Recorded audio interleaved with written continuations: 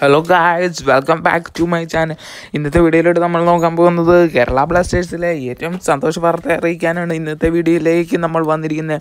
അതിനു മുമ്പ് നിങ്ങൾ ഇതുവരെയായിട്ടും ഈ ചാനൽ സബ്സ്ക്രൈബ് ചെയ്ത് വെച്ചിട്ടില്ലെങ്കിൽ ഒന്ന് സബ്സ്ക്രൈബ് ചെയ്യുക. അങ്ങനെയാണെങ്കിൽ ഞാനിടുന്ന വീഡിയോയുടെ നോട്ടിഫിക്കേഷൻ നിങ്ങളുടെ മൊബൈലിൽ അപ്പോൾ അപ്പോൾ കിട്ടും. അപ്പോൾ നമുക്ക് വീഡിയോയിലേക്ക് കിടക്കാം.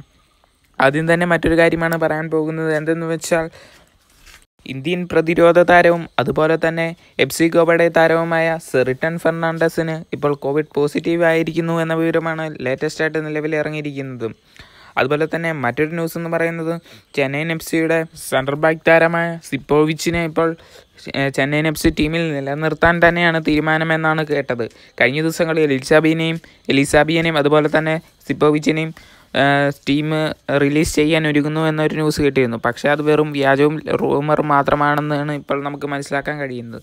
അതുപോലെ തന്നെ മറ്റൊരു ന്യൂസ് എന്ന് പറയുന്നത് ചെന്നൈയിൻ എം സിയുടെ കോച്ചിനെ പറ്റി നമുക്ക് നോക്കാം. ചെന്നൈയിൻ എം സി കുറേ കോച്ചുകളെ ഇപ്പോൾ ഷോർട്ട് ലിസ്റ്റ് ചെയ്തിട്ടുണ്ടെന്നും അതുപോലെ തന്നെ ഈ കോച്ചുകളുടെ പല പേരുകളും ഇപ്പോൾ ഉയർന്നു വരുന്നുണ്ട്. ഇപ്പോൾ മറ്റൊരു പേരും കൂടെ ഉയർന്നു വന്നിരിക്കുകയാണ്. ആ താര ആ കോച്ചിന്റെ പേര് നോക്കുകയാണെങ്കിൽ ജൂർജൻ ക്ലിൻസ്മാൻ എന്ന് പറയുന്ന ഒരു ജർമ്മനി കോച്ച് തന്നെയാണ്.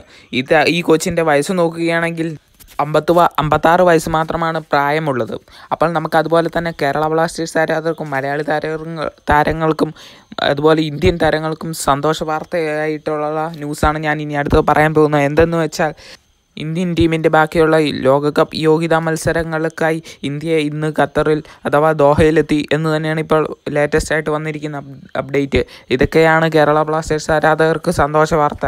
അതുപോലെ തന്നെ കേരള ബ്ലാസ്റ്റേഴ്സ് ഇന്നൊരു സൈൻ ചെയ്യിപ്പിക്കുമെന്ന് ആരാധകരെല്ലാം കഴിഞ്ഞ് കരുതിയെങ്കിലും ഇന്ന് ആ സൈനിങ് നടന്നില്ല എന്ന് തന്നെ ഒരു നിരാശ തന്നെയാണ്.